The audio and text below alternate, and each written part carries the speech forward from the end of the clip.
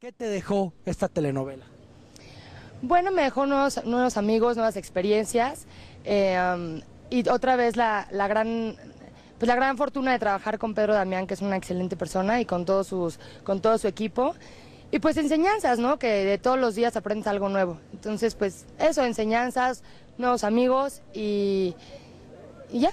Refrescando la memoria, ¿qué cosas chistosas pasaron? ¿Alguna anécdota curiosa? ¿Caídas o Um, quién escondieron? ¿Quién se fue? mm, no, me- no recuerdo ahorita una anécdota chistosa. Eh, no sé, a ver, tú dime, ¿qué haya pasado? Mm, no sé, no, no, bueno, chistoso, pues sí, cuando Arturo Prince se equivoca muchísimo. No, no es cierto.